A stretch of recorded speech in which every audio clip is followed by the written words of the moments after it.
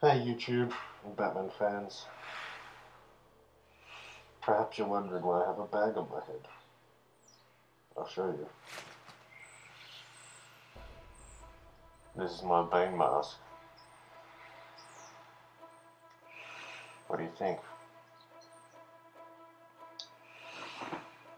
It's got incredible detail. Fits perfect.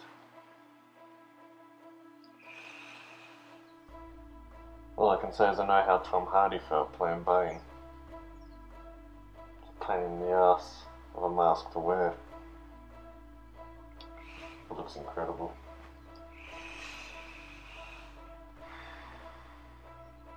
Anyway, there's other masks out there.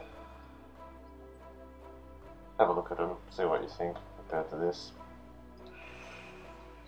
This was a custom mask made for me. Because I wanted to be Bane. I'm also wearing my early Bane costume. Pants are a little bit different, but I'll play around with them. I can help anyone if they want to make the same sort of pair. This is uh, basically the costume from the prologue.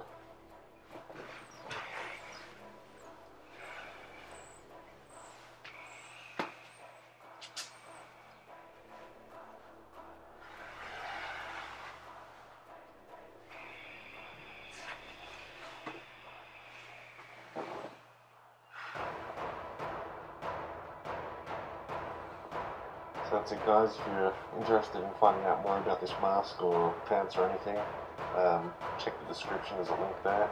Go have a look and uh, have a bit of a discussion. Thanks guys.